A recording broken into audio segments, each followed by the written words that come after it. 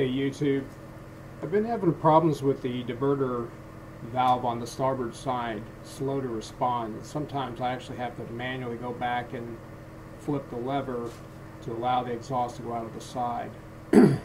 so I decided to pull the harness out and the diverters are out and replace the O-rings on the diverter valves and so now I want to test the harness and each one of the solenoids.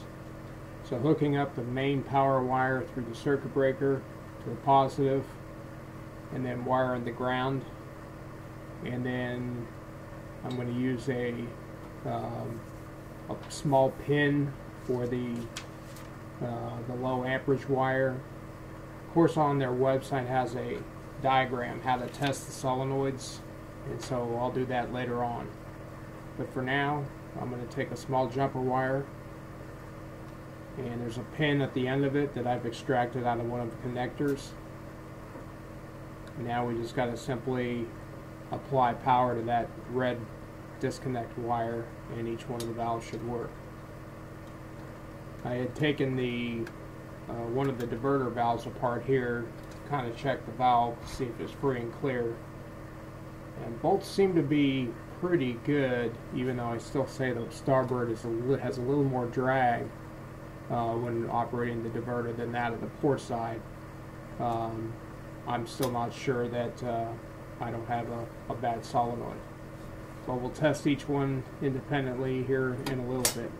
But for now, I think we're about ready to perform the test.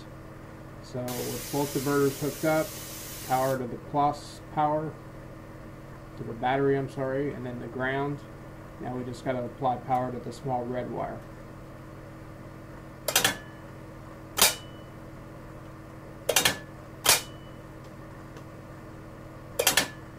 Okay, now the one that you're looking at in front of you is going to be the port side that's operating freely, but the one in the back um, is the starboard side that I'm having slow response on. So what I think I'm going to do here is I'll swap them left to right, and that at least will check the connectors in the harness as well as the butt splices.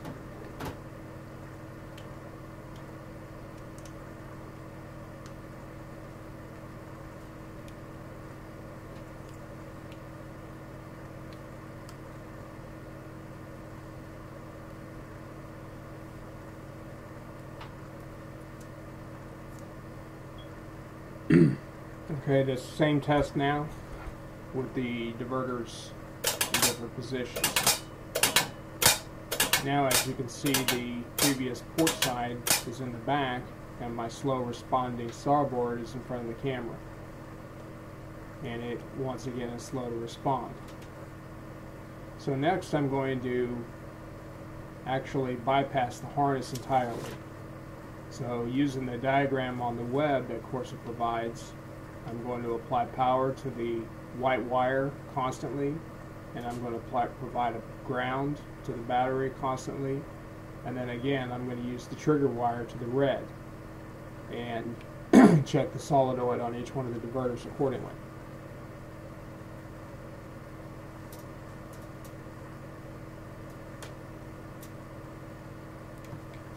This is the three connector diverters.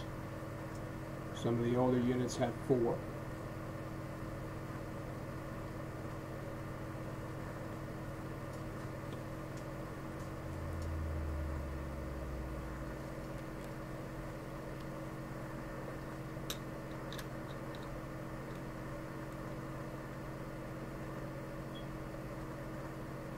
Okay, so now I've got ground wire and the power wire hooked up to the white constantly. Now I just need to use the red wire to trigger the solenoid.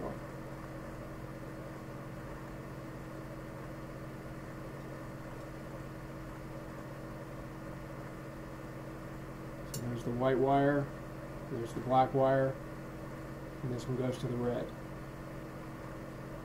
So this is my starboard exhaust diverter valve. See how it's slow to respond.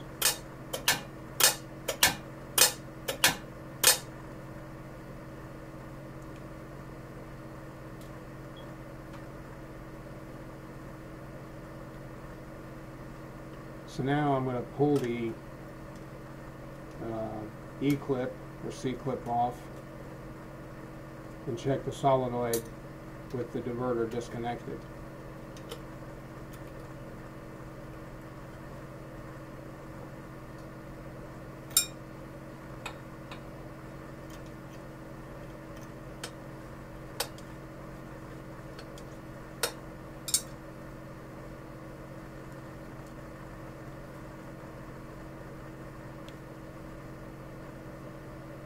Now I've made several attempts at adjusting the length of the starting point at which the solenoid rests with the diverter in its unpowered state or against the stop.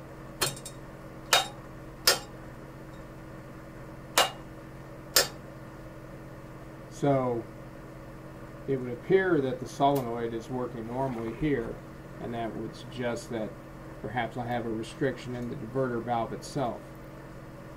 And I don't disagree with that.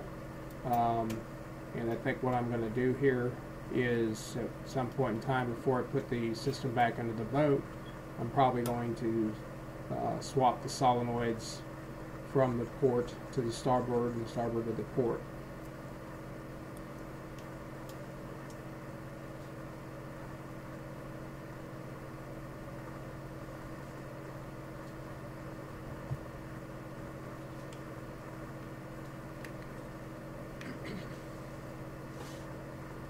Okay, so here's the the good uh, port side diverter assembly, and I'm going to run the same test.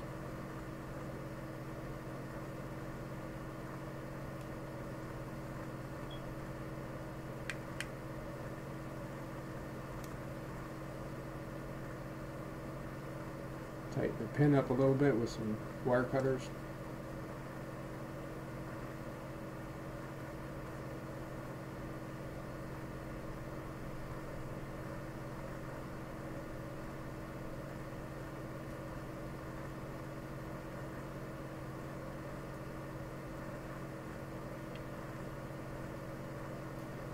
Last but not least, my trigger wire.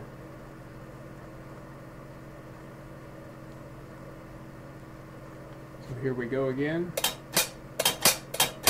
And as you can see, this port side diverter, everything about it is strong, fast, efficient. None of the wires are getting hot. And the wire, incidentally, the wires were not getting hot when I would leave it powered up on the starboard uh, diverter valve either. So.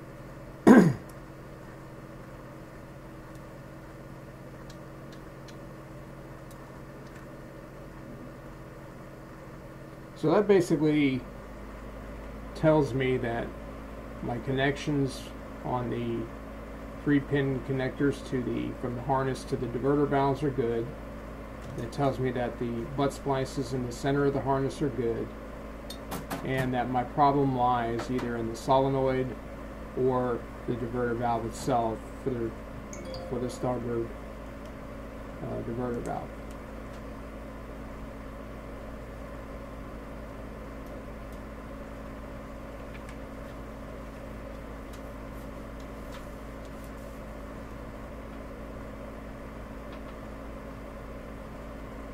One last test.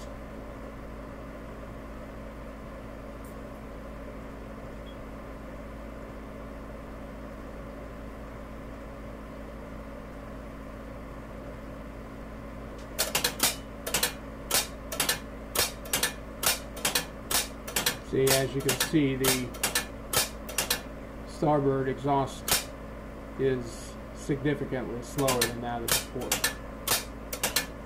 And that's how you test the course of the diverter system. Thanks for watching.